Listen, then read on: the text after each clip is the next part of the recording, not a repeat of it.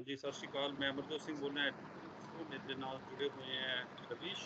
ਕੀ ਨਾਮ ਸਰ ਮੇਰਾ ਨਾਮ ਰਵੀਸ਼ ਸਿੰਘ ਹੈ ਸਰ। ਰਵੀਸ਼ ਸਿੰਘ ਹੈ। ਰਵੀਸ਼ ਸਿੰਘ ਤੁਹਾਡੀ ਪਰਮਿਸ਼ਨ ਨਾਲ ਤੁਹਾਡਾ ਇੰਟਰਵਿਊ ਰਿਕਾਰਡ ਹੋ ਰਿਹਾ ਹੈ। YouTube ਤੇ ਲੋਕੀ ਦੇਖ ਰਹੇ ਹੈ ਸੋ ਦੱਸੋ ਕੀ ਹੈ ਸਿਚੁਏਸ਼ਨ ਕੀ ਤੁਸੀਂ ਪੁੱਛਣਾ ਚਾਹੁੰਦੇ ਹੋ ਮੇਰੇ ਤੋਂ? ਸਰ ਸਿਚੁਏਸ਼ਨ ਕੀ? ਸਰ ਮੈਂ 2019 ਦੇ ਵਿੱਚ ਸਰ ਪਲੱਸ 2 ਕਲੀਅਰ ਕੀਤੀ ਸੀ ਸਰ ਕਾਮਰਸ ਦੇ ਵਿੱਚ। ਓਕੇ ਤੇ 68 68 ਬੈਂਡਸ ਦੇ ਅ, 68% ਦੇ ਨਾਲ ਸਰ ਤੇ ਮੈਂ sir two times sir IELTS ਦਾ ਐਗਜ਼ਾਮ ਦਿੱਤਾ ਸਰ ਓਕੇ ਤੇ one time sir desire band ਨਹੀਂ ਆਇਆ ਸਰ ਸੈਕੰਡ ਟਾਈਮ ਇੱਕ ਦੇ ਵਿੱਚ ਸਰ ਘੱਟ ਰਹਿ ਗਏ ਸਪੀਕਿੰਗ ਲਿਸਨਿੰਗ ਦੇ ਵਿੱਚ 6 ਬੈਂਡ ਤੇ ਰਾਈਟਿੰਗ ਦੇ ਵਿੱਚ 7 ਬੈਂਡ ਔਰ ਰੀਡਿੰਗ ਦੇ ਵਿੱਚ ਸਰ 4.5 ਰਹਿ ਗਏ ਸਰ ਉਹਦੇ ਵਿੱਚ। ਤੇ ਉਸ ਤੋਂ ਬਾਅਦ ਸਰ ਮੈਂ ਟਰਾਈ ਕੀਤਾ ਹੁਣ ਐਗਜ਼ਾਮ ਦੇਣਾ ਹੈ ਸਰ ਹੁਣ ਡਿਊ ਟੂ ਕੋਵਿਡ 19 ਦੇ ਆ ਸਰ ਜਿਹੜੇ ਆਪਣੇ ਸੈਂਟਰਸ ਆ ਸਰ ਇਹ ਓਪਨ ਨਹੀਂ ਹੋ ਰਹੇ ਸਰ। ਤੇ ਸਰ ਦੋ ਐਗਜ਼ਾਮ ਸਰ ਨਿਕਲ ਕੇ ਆਇਆ ਇੱਕ ਸਰ ਆਇਲਟਸ ਵਾਲਿਆਂ ਨੇ ਇੱਕ ਇੰਡੀਕੇਟਰ ਸਰ ਆਇਲਟਸ ਕੱਢਿਆ ਵਾ ਸਰ ਇਹਨਾਂ ਨੇ। ਕਿਹੜਾ? ਤੇ ਸੈਕੰਡ ਸਰ ਆਇਲਟਸ ਇੰਡੀਕੇਟਰ ਅੱਛਾ ਦੂਸਰਾ? ਦੂਜਾ ਸਰ ਡਿਓਲਿੰਗੋ ਆ ਸਰ। ਯਾ ਇਹ ਦੋਨੋਂ ਹੀ ਮੇਰੇ ਖਿਆਲ ਹੈ ਕਿ ਮੈਂ ਤੇ ਕਦੇ ਸੁਣਿਆ ਨਹੀਂ ਇਹਨਾਂ- ਇਹਨਾਂ ਦੇ ਬਾਰੇ। ਮੈਂ ਨਹੀਂ ਸਮਝਦਾ ਕਿ ਸਟੱਡੀ ਵੀਜ਼ਾ ਐਪਲੀਕੇਸ਼ਨ ਲਈ ਇਹ ਰੈਕਗਨਾਈਜ਼ ਹੋਣਗੇ। ਪਰ ਇਹ ਤੇ ਇਹ ਤੇ ਤੁਹਾਨੂੰ ਜਿਹੜੇ ਕੈਨੇਡੀਅਨ ਹਾਈ ਕਮਿਸ਼ਨ ਹੀ ਦੱਸੇਗੀ। ਪਰ ਅਕੋਰਡਿੰਗ ਟੂ ਮਾਈ ਨੌਲੇਜ ਮੇਰੀ ਅਵੇਅਰਨੈਸ ਵਿੱਚ ਇਹ ਮੇਰੇ ਖਿਆਲ ਹੈ ਕਿ ਇਸ ਵਕਤ ਰੈਕਗਨਾਈਜ਼ ਨਹੀਂ ਹਨ। ਇਨ ਫਿਊਚਰ ਹੋ ਸਕਦੇ ਆ। ਬਾਕੀ ਤੁਸੀਂ ਜਿਹੜੇ ਕਾਲਜ ਜਿਹੜੇ ਯੂਨੀਵਰਸਿਟੀ ਵਿੱਚ ਐਡਮਿਸ਼ਨ ਲੈਣਾ ਉਹਨਾਂ ਨੂੰ ਪੁੱਛ ਲਓ ਕਿ ਵੀ ਤੁਸੀਂ ਇਹ ਰੈਕਗਨਾਈਜ਼ ਕਰੋਗੇ ਨਹੀਂ ਕਰੋਗੇ। ਕਈ ਵਾਰ ਕੁਝ ਯੂਨੀਵਰਸਿਟੀਆਂ ਦੂਸਰੇ ਜਿਸ ਤਰ੍ਹਾਂ ਟੋਫਲ ਵਗੈਰਾ ਪੀਟੀ ਵਗੈਰਾ ਲੈ ਲੈਂਦੀਆਂ ਕਈ ਵਾਰ। I mean it all depends on the individual preference ਤੇ ਐਡਮਿਸ਼ਨ ਤੁਹਾਨੂੰ ਦੇ ਦੇਣਗੇ. ਪਰ ਹਾਂ ਹਾਂ ਵੀਜ਼ਾ ਵੀਜ਼ਾ ਵਾਲੇ ਪਤਾ ਨਹੀਂ ਲੈਣਗੇ ਨਹੀਂ ਲੈਣਗੇ ਇਹ ਇੱਕ ਸਭ ਹਾਂ ਸਰ ਉਹੀ ਸਰ ਮੇਰੇ ਮਾਮਾ ਜੀ ਦਾ ਬੇਟਾ ਉੱਥੇ ਸਰ ਹੈ ਆਪਣੇ ਟ੍ਰਾਂਟੋ ਦੇ ਵਿੱਚ ਆ। ਉਹ ਆਪਣਾ ਕੈਨੇਡੀਅਨ ਪੁਲਿਸ ਦੇ ਵਿੱਚ ਆ ਸਰ ਉੱਥੇ। ਤੇ ਮੈਂ ਉਹਨਾਂ ਸਰ ਕੰਟੈਕਟ ਕੀਤਾ ਸੀਗਾ।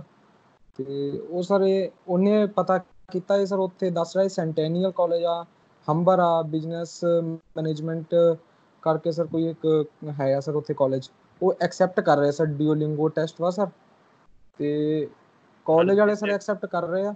ਫਿਰ ਤੇ ਗਲਤ ਗਲਤ ਤੁਹਾਡੀ ਬਣ ਅਗਰ ਜੇ ਉਹ ਕਾਲਜ ਰਹੇ ਆ, ਫਿਰ ਪ੍ਰੋਸੀਡ ਕਰ ਲਓ, ਫਿਰ ਤੇ ਫਿਰ ਕਿਉਂ ਤੁਹਾਡੇ ਮਨ 'ਚ ਸੰਸ਼य ਸਰ ਮੇਰੇ ਇਹ ਆ ਵੀ ਮਤਲਬ ਸਰ ਮੈਂ ਸਰ ਰਿਸਰਚ ਇੱਥੇ ਕੀਤੀ, ਜਿੱਦਾਂ ਆਪਣਾ ਕੁਝ ਏਜੰਟ ਵਗੈਰਾ ਸਰ ਜਿੱਦਾਂ ਇੱਥੇ ਤੁਹਾਨੂੰ ਵੀ ਪਤਾ ਸਰ ਪੰਜਾਬ, ਇਧਰ ਯੂਪੀ ਦਾ ਕੀ ਮਾਹੌਲ ਆ ਸਰ ਵੀਡੀਓ ਸਰ ਮੈਂ ਵੀ ਤੁਹਾਡੀਆਂ ਦੇਖੀਆਂ ਹੋਈਆਂ ਸਰ ਤੇ ਮੈਂ ਤਾਂ ਹੀ ਕਿਹਾ ਸਰ ਤੁਹਾਡੇ ਕੋ ਜੋ ਵੀ ਆ ਸਰ ਤੁਹਾਡੇ ਕੋ ਇੱਕ ਵਾਰੀ ਪੁੱਛਾਂ ਸਰ ਪਹਿਲਾਂ, ਤੇ ਪੱਕਾ ਡਿਸੀਜਨ ਸਰ ਉੱਤੇ ਹੀ ਫਿਰ ਤੁਹਾਡੀ ਗੱਲ ਤੇ ਮਤਲਬ ਲਈਏ।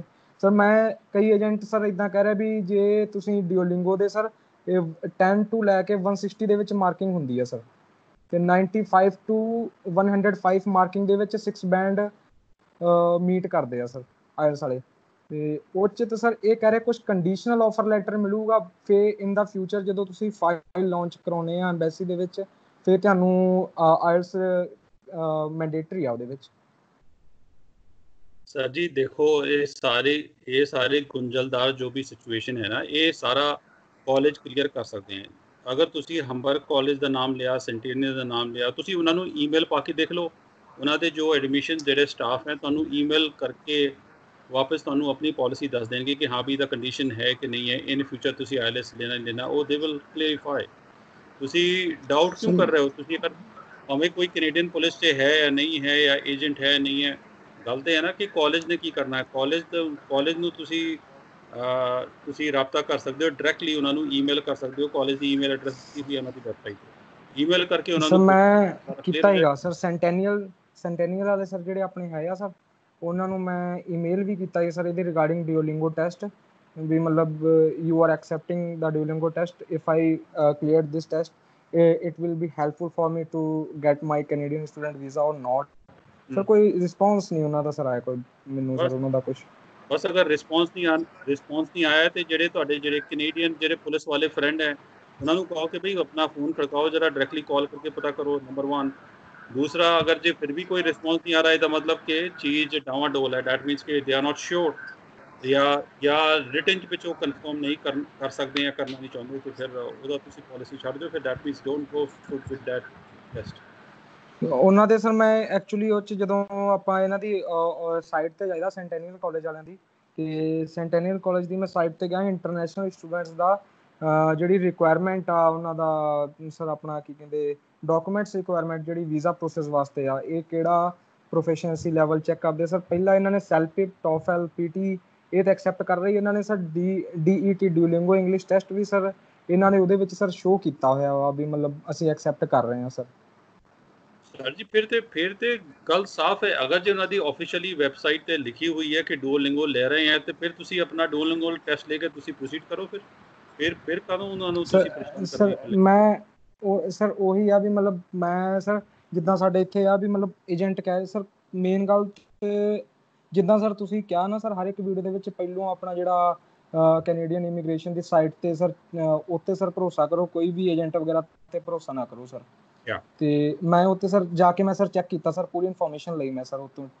ਤੇ ਉਹ ਸਰ ਕੁਝ ਸ਼ੋ ਨਹੀਂ ਕਰ ਰਹੇ ਸਰ ਇਹਦੇ ਡਿਊਲਿੰਗੋ ਦੇ ਰਿਗਾਰਡਿੰਗ ਸਰ ਕੁਝ ਉਹਨਾਂ ਨੇ ਹਲੇ ਤੱਕ ਕਿਹਾ ਨਹੀਂਗਾ ਵੀ ਮਤਲਬ ਸਰ ਕਨਫਰਮ ਕੁਝ ਨਹੀਂ ਕੀਤਾ ਉਹਨਾਂ ਨੇ ਸਰ ਹਲੇ। ਤੋ ਇਸ ਕਰਕੇ ਇਸ ਕਰਕੇ ਅਗਰ ਜੇ ਕੈਨੇਡੀਅਨ ਹਾਈ ਕਮਿਸ਼ਨ ਜਾਂ ਕੈਨੇਡੀਅਨ ਇਮੀਗ੍ਰੇਸ਼ਨ ਅਗਰ ਐਕਸੈਪਟ ਨਹੀਂ ਕਰ ਰਹੀ ਹੈ ਉਹਨਾਂ ਜੇ ਉਹਨਾਂ ਨੇ ਨਹੀਂ ਲਿਖਿਆ ਤੇ ਫਿਰ ਤੁਸੀਂ ਚਾਂਸ ਦੇ ਰਹੇ ਹੋ ਕਿ ਰਿਸਕ ਹੈ।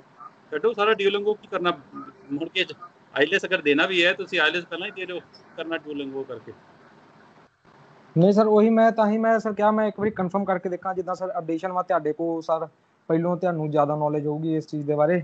ਤੇ ਮੈਂ ਉਹੀ ਸਰ ਮੈਂ ਕਿਹਾ ਵੀ ਸਰ ਕੁਝ ਦੇਖਿਆ ਇਦਾਂ ਕਰਕੇ। ਕਈ ਸਰ ਮੈਂ ਇੱਕ ਦੋ ਸਟੂਡੈਂਟ ਵੀਜ਼ਾ ਐਪਲੀਕੇਸ਼ਨ ਨਹੀਂ ਅਪਲਾਈ ਕਰਦਾ। ਮੇਰਾ ਕੰਮ ਨਹੀਂ ਹੈ ਸਟੂਡੈਂਟ ਵੀਜ਼ਾ ਅਪਲਾਈ ਕਰਨਾ ਜਾਂ ਸਟੂਡੈਂਟ ਕਾਲਜ ਕਰਨਾ ਉਹ ਮੇਰਾ ਕੰਮ ਨਹੀਂ ਹੈ। ਮੇਰਾ ਕੰਮ ਤੇ ਸਪਾਊਸ ਵੀਜ਼ਾ ਜਾਂ ਦੂਸਰੇ ਵੀਜ਼ਾ ਜਿਹੜੇ ਐਪਲੀਕੇਸ਼ਨ ਆ ਉਹਨਾਂ ਨੂੰ ਅਪੀਲ ਕਰਨਾ ਹੈ। ਬਾਕੀ ਅਗਰ ਕੋਈ ਵੀ ਡਾਊਟ ਹੈ ਅਗਰ ਜੋ ਕੈਨੇਡੀਅਨ ਇਮੀਗ੍ਰੇਸ਼ਨ ਦੀ ਵੈਬਸਾਈਟ ਤੇ ਅਗਰ ਡੂਓਲਿੰਗੋ ਦਾ ਨਾਮ ਨਹੀਂ ਹੈ ਤੇ ਫਿਰ ਤੁਸੀਂ ਚਾਂਸ ਲੈ ਰਹੇ ਹੋ ਕਿ ਚਾਂਸ ਨਾ ਲਓ। ਛੱਡੋ ਤੁਸੀਂ ਡਿਊਲਿੰਗੋ ਜਦ ਡਿਊਲਿੰਗੋ ਜਦ ਤੱਕ ਡਿਊਲਿੰਗੋ ਐਸਟੈਬਲਿਸ਼ ਹੋਏਗਾ ਟਾਈਮ ਲੱਗ ਜਾਏਗਾ ਮੇਰੇ ਖਿਆਲ।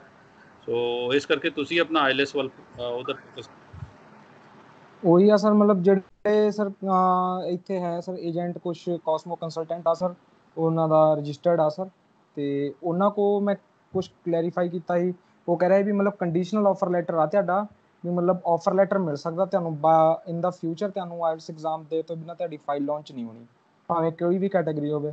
ਉਹ ਕਈ ਸਰ ਏਜੰਟ ਜਿੱਦਾਂ ਵਾ ਕਈ ਏਜੰਟ ਵਾ ਸਰ ਜਿੱਦਾਂ ਕੋਈ ਇੱਥੇ ਵਿਨੈ ਹਰੀ ਹੋਰ ਸਰ ਉਹਨਾਂ ਦੀ ਮੈਂ ਵੀਡੀਓ ਦੇਖੀ ਤੇ ਉਹ ਕਹਿ ਰਿਹਾ ਵੀ ਮਤਲਬ ਜਿੱਦਾਂ ਕੈਨੇਡਾ ਦੀ ਇਕਨੋਮੀ ਡਾਊਨ ਹੋ ਗਈ ਆ ਉਹ ਇੰਟਰਨੈਸ਼ਨਲ ਸਟੂਡੈਂਟ ਦੇ ਉੱਤੇ ਚੱਲ ਰਹੇ ਉਹਨਾਂ ਨੇ ਕਿੱਦਾਂ ਵੀ ਕਿੱਦਾਂ ਕਰਕੇ ਸਟੂਡੈਂਟ ਬੁਲਾਉਣੇ ਆ ਤੇ ਵੀਜ਼ਾ ਸਕਸੈਸ ਰੇਸ਼ੀਓ ਤੁਹਾਡਾ ਵੱਧ ਸਕਦਾ ਵਾ ਤੁਸੀਂ ਪੇਪਰ ਦੋ ਡੀਓਲਿੰਗ ਵਾਲਾ। ਤੇ ਮੈਂ ਕਿਹਾ ਨਹੀਂ ਮੈਂ ਪਹਿਲਾਂ ਸਰ ਨਾਲ ਇੱਕ ਵਾਰੀ ਮੈਂ ਆਪ ਮੇਰੀ ਇੱਕ ਗੱਲ ਹੋਈ ਉਹ ਮੈਂ ਮੈਨੂੰ ਕਹਿੰਦੀ ਹਾਂਜੀ ਸਰ ਇਹ ਇਹ ਕਹਿਣਾ ਬਹੁਤ ਮੁਸ਼ਕਿਲ ਹੈ ਕਿ ਇਕਨੋਮੀ ਡਾਊਨ ਕਰਕੇ ਕੈਨੇਡੀਅਨ ਸਰਕਾਰ ਨੇ ਜੀ ਆਪਣੇ ਕਿਸੇ ਨਾ ਕਿਸੇ ਸੂਰਤ ਵਿੱਚ ਆਪਣਾ ਕੋਟਾ ਪੂਰਾ ਕਰਨਾ ਹੈ ਕਿ ਸਟੂਡੈਂਟ ਪੜ੍ਹਨੇ ਇਹ ਕਹਿਣਾ ਬਹੁਤ ਮੁਸ਼ਕਿਲ ਹੈ ਇਹ ਤੇ ਇੱਥੇ ਤੇ ਰੋਜ਼ ਦੀ ਤਬਦੀਲੀ ਹੋ ਰਹੀ ਹੈ ਇਮੀਗ੍ਰੇਸ਼ਨ ਕਾਨੂੰਨ ਵਿੱਚ ਬਾਹਰ ਦੇ ਕੰਸਲਟੈਂਟ ਕਿਦਾਂ ਕਹਿ ਸਕਦੇ ਆ ਕਿ ਵੀ ਇਹਨਾਂ ਨੇ ਕੋਟਾ ਪੂਰਾ ਕਰਨਾ ਹੈ this is there is no solid ਕੋਈ ਇਹਦੇ ਵਿੱਚ ਕੋਈ ਲੀਗਲ ਬੇਸਿਸ ਨਹੀਂ ਹੈ ਹੋ ਸਕਦਾ ਕਿ ਉਹ ਕੋਟਾ ਪੂਰਾ ਪਰ ਸਰਕਾਰੀ ਇਦਾਂ ਦੀ ਕੋਈ ਪਾਲਿਸੀ ਇਸ ਵਕਤ ਨਹੀਂ ਹੈ ਤੇ ਮੈਂ ਉਹੀ ਸਰ ਇੱਕ ਬਾਕੀ ਤੁਸੀਂ ਇਸ ਤਰ੍ਹਾਂ ਕਰੋ ਬਦਰ ਇਸ ਤਰ੍ਹਾਂ ਕਰੋ। ਆਪਾਂ ਮੁੱਖ ਦੀ ਗੱਲ ਇੱਥੇ ਕਰੀਏ ਕਨਕਲੂਡ ਕਿ ਤੁਸੀਂ ਅਗਰ ਜੇ ਡਾਊਟ ਤੋਂ ਨਿਕਲਣਾ ਹੈ ਤੇ ਚੁੱਪ ਕਰਕੇ ਆਈਐਲਐਸ ਦੀ ਤਿਆਰੀ ਕਰੋ। ਜਦ ਤੱਕ ਡੂਓਲਿੰਗੋ ਆਏਗਾ ਦੇਖੀ ਜਾਏਗੀ। ਫਿਰ ਡੂਓਲਿੰਗੋ ਦਾ ਜਦ ਤੱਕ ਜਦ ਜ਼ਮਾਨਾ ਆਏਗਾ ਇਤਨਾ ਕੋਈ ਚਿੰਤਾ ਨਹੀਂ। ਹਾਂਜੀ ਸਰ ਮੈਂ ਉਹੀ ਆਈਲਟਸ ਦੀ ਆਈਲਟਸ ਦੀ ਕੋਚਿੰਗ ਲੈ ਰਿਹਾ ਸਰ। ਮੈਂ ਡੇਲੀ ਮੇਰੀ ਕੋਚਿੰਗ ਸਰ ਚੱਲ ਰਹੀ ਹੈ ਆਈਲਟਸ ਦੀ। ਉਤੋਂ ਤੋਂ ਨਹੀਂ ਸਰ ਮੈਂ ਇਸ ਟਾਈਮ ਸਰ ਫ੍ਰੀ ਬੈਂਡ ਤੋਂ ਚੰਗਾ। ਮੈਂ ਕਿਹਾ ਕੁਝ ਆਈਲਟਸ ਸਾਲ ਦੀ ਸਰ ਕਰ ਲਈਏ। ਤੇ ਉਹੀ ਸਰ ਟੀਚਰ ਆ ਇਧਰਲੇ ਸਰ ਏਜੰਟ ਵੀ ਇੱਕ ਤਰੀਕੇ ਦਾ ਨਾ ਸਟੂਡੈਂਟਸ ਨੂੰ ਪਾਥਵੇ ਤੋਂ ਸਰ ਉਹ ਕਰ ਦਿੰਦੇ ਆ ਸਰ ਥੋੜਾ ਡਿਮੋਟੀਵੇਟ ਕਰ ਦਿੰਦੇ ਆ ਸਰ ਇੱਕ ਤਰੀਕੇ ਨਾਲ। ਤੇ ਉਹ ਉਹਨੇ ਇੱਕ ਟੀਚਰ ਨਾਲ ਮੇਰੀ ਗੱਲ ਹੋਈ ਮੈਂ ਉਹੀ ਕਿਹਾ ਟੀਚਰ ਕਹਿੰਦੀ ਵੀ ਤੁਸੀਂ ਦਓ ਕੋਈ ਦਿੱਕਤ ਨਹੀਂ ਸਾਡੀ ਗਾਰੰਟੀ ਆ 100% ਵੀਜ਼ਾ ਅਸੀਂ ਦਵਾਵਾਂਗੇ ਆ। ਮੈਂ ਕਿਹਾ ਜਦੋਂ ਆਫੀਸ਼ੀਅਲ ਸਾਈਟ ਤੇ ਨਹੀਂ ਸ਼ੋ ਕਰ ਰਿਹਾ ਵੀ ਮਤਲਬ ਐਕਸੈਪਟ ਵਾ ਤੇ ਤੁਸੀਂ ਤੁਸੀਂ ਥੋੜੀ ਨਾ ਉੱਥੇ ਵੀਜ਼ਾ ਅਫਸਰ ਵਾਂ ਵੀ ਤੁਸੀਂ ਵੀਜ਼ਾ ਇਦਾਂ ਹੀ ਦਵਾ ਦੋਗੇ ਸਾਨੂੰ। ਕੋਈ ਵੀ ਆ ਬਾਅਦ ਚ ਜਦੋਂ ਰਿਫਿਊਜ਼ਲ ਆ ਜਾਊਗਾ 30 40000 ਰੁਪਏ ਸਾਡੇ ਡੁੱਬ ਜਾਣਗੇ, ਫਿਰ ਤੁਸੀਂ ਕਹਿ ਦੇਣਾ ਵੀ ਮਤਲਬ ਆ ਤੁਹਾਡਾ ਚਾਂਸ ਹੋ ਗਿਆ, ਉਹ ਹੋ ਗਿਆ। ਤੇ ਮੈਂ ਜਦੋਂ ਫਿਰ ਤੁਹਾਡਾ ਨਾਮ ਦੱਸਿਆ ਸੀਗਾ, ਮੈਂ ਕਿਹਾ ਇੱਕ, ਮੈਂ ਸਾਰਾ ਮਰਜੂ ਸਰ, ਮੈਂ ਉਹਨਾਂ ਦੀ ਦੇਖਦਾ, ਉਹਨਾਂ ਨੂੰ ਫੋਲੋ ਕਰਦਾ ਵਾਂ। ਤੇ ਮੈਮ ਮੈਨੂੰ ਕਹਿੰਦੀ ਆਨਲਾਈਨ ਤੋਂ ਕਲਾਸ ਲੈ ਲੈ, ਮੇਰੇ ਕੋਲ ਡੀਲਿੰਗ ਕੋ ਕੋਈ ਦਿੱਕਤ ਨਹੀਂ।